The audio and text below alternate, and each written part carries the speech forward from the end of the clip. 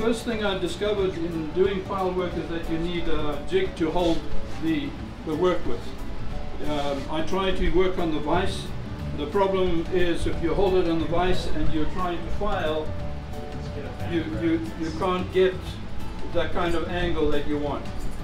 So uh, again, I looked online and uh, this is uh, uh, a combination of various things and I think that to me this is the ultimate. Um, and I'll just tell you about some of the features uh, of this. At the, at, the, at the bottom is an adjuster which allows you to keep the jaws parallel. Otherwise what's going to happen is if you screw it in, you're going to get that kind of thing and you don't get a lot of, a lot of grip. So, so basically what I do is I, I adjust this until it's that thickness um, and then clamp it in there.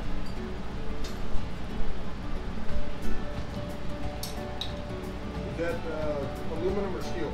It's aluminum, it's just scrap that I had, so the dimensions aren't uh, anything particular. Uh, th this is 15 degrees. Uh, you can probably get away with a little bit more than that.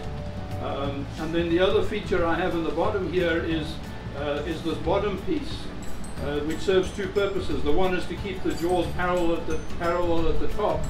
Otherwise what you have to do is you have to run another pin through here to make sure that the jaws don't, don't swivel. So that stops the jaws from swiveling but it also allows me to turn it in the vise. If I want to turn it any, any which way, I can turn it without having to clamp and then open up to, to, Oh. to, to turn it.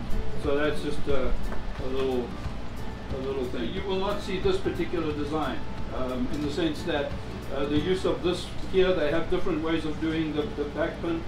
Um, and the, the bit at the back here is, is uh, it's just my own ideas. Most of them run a pin through here and don't have the bottom part so that uh, to keep the jaws from, from